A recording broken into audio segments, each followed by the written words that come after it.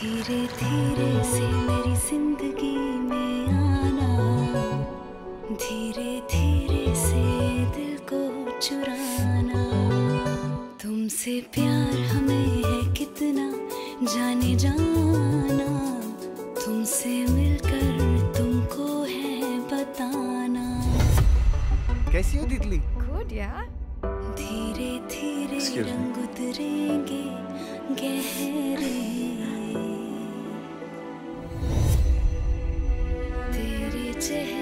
तितली आज से रात 11 बजे स्टार प्लस और डिज्नी प्लस हॉटस्टार पर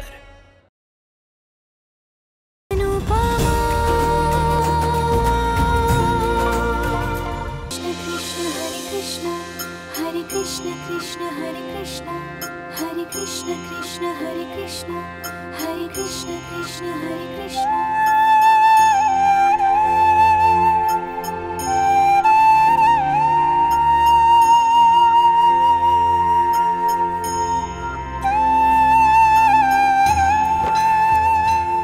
तुलसी मैया, ये यहाँ के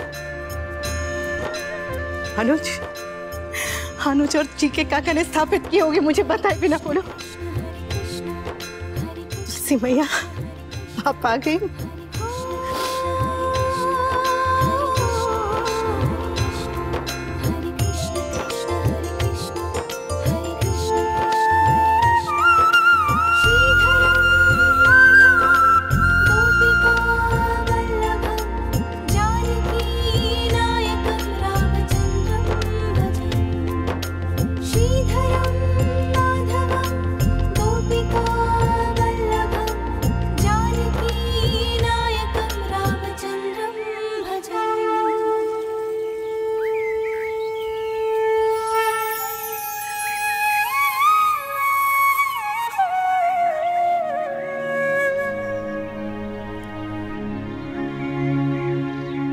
नया परिवार मिला है।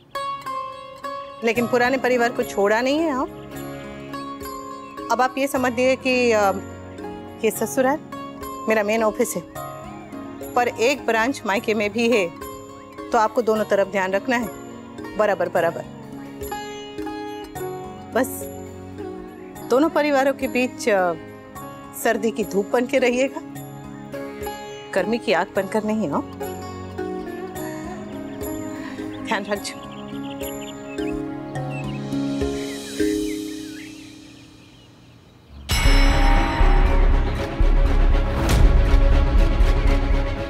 ये प्लांट हमारे घर के डेकोर के साथ मैच नहीं कर रहा। फ़र्स्ट ऑफ़ ऑल ये प्लांट नहीं तुलसी जी हैं। अच्छा पूजा पाठ करना बहुत अच्छा है। मैं भी करती हूँ मंडे को। लेकिन घर के डेकोर के बारे में ही सोचना चाहिए। और आप प्लीज़ अब अब इस बात पे लड़ाई मत करना यार। तुम्हें क्या लगता है मैं बहाने ढूंढती हूँ लड़ाई करने के लिए? नो ऑफ़ कोर्स नॉट तुम तो बिना बहाने के भी लड़ाई कर लेती हो। अरे दैट्स नॉट फनी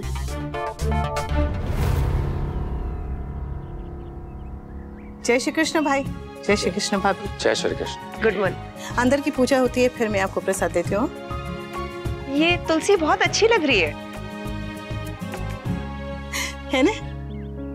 अनुज और जी के काका ने स्थापित की मुझे बताया भी नहीं बोलो। अच्छा है, लोग अपने आँगन में तुलसी लगाते हैं, ताकि ज़्यादा दूर ना जाना पड़े पूजा करने के लिए। हाँ और इसके अलावा और भी महत्व है ना? अब हम तुलसी जी, तुलसी मैया बोलते हैं। क्या किसी और पौधे को इतना सम्मान देते हैं? सोचिए जरा, हम क्या गाजर जी, आलू जी, गल का पड़वल टिंडोला जी, ऐसा बोलते हैं? जरा भी नहीं। क्योंकि तुलसी मैया जब घर में होती है ना तो ऐसा लगता है किसी बड़े बुज़ुर्ग का आशीर्वाद है साथ में। नानी दादी साथ में ऐसा लगता है। आ, मतलब अगर सर्दी जुकाम हो तो ऐसे फटाफट तुलसी के पत्ते चाय में डाल के या पानी में डाल के ऐसे उबाल लो और पी लो। या फिर चेहरे पे लगा लो तुलसी के पत्ते तो निखार आ जाता है। और तुलसी के पत्ते ऐसे ही खा लो तो बीमारी दूर दूर भाग जाती है। तुलसी मैया हवा को वातावरण को शुद्ध और घर को पवित्र करती है। वाह रियली वाह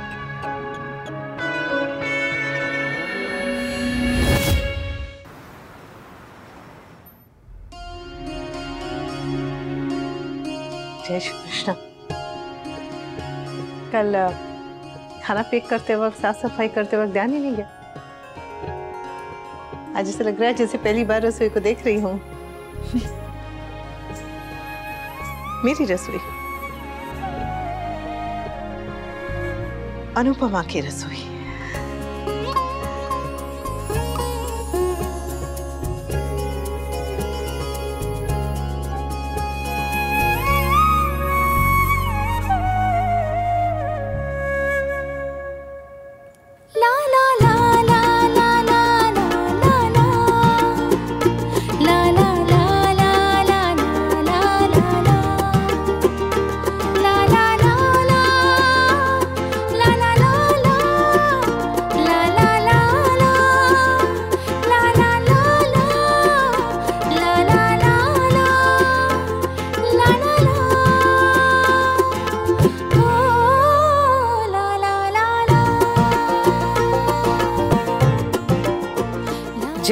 अन्नपूर्णा।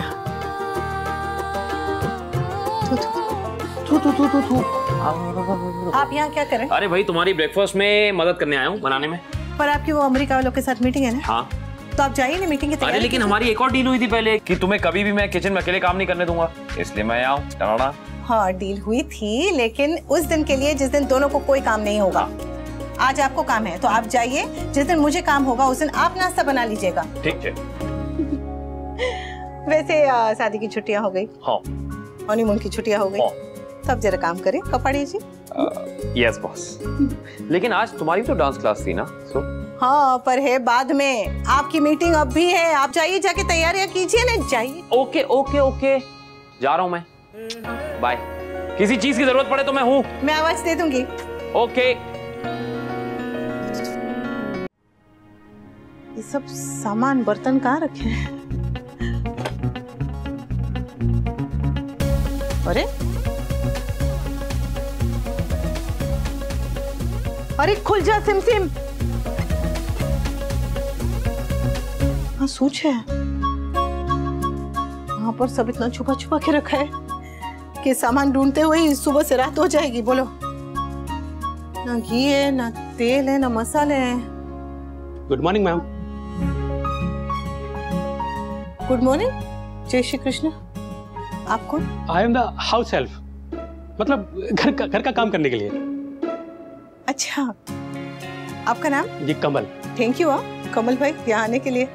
और थैंक यू बरखा भाभी को भी कि आपको यहाँ पर लेकर आई। वरना इतने बड़े घर को मैं अकेली कैसे संभालती? मैम ब्रेकफास्ट में क्या बनाऊँ? नहीं नहीं खाना तो मैं ही बनाऊँगी।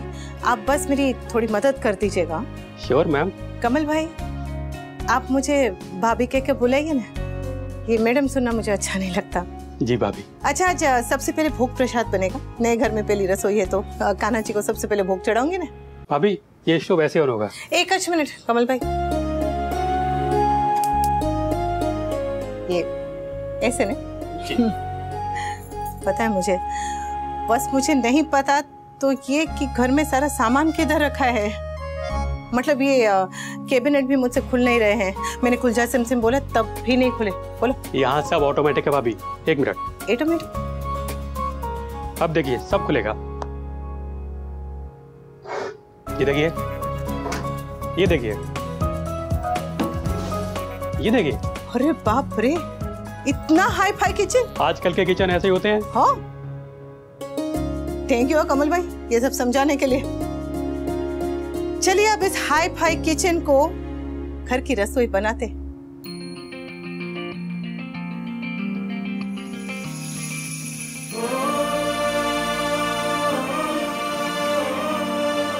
हाँ। अब ये लग रही है ना रसोई? जी जब तक सारी चीज़ें ऐसे आँखों के सामने ना हो ऐसा लगता ही नहीं है कि रसोई में है। बस एक चीज़ की कमी रह गई मेरी मसालेदानी। ले आऊँगी वैसे की वैसे सेम टू सेम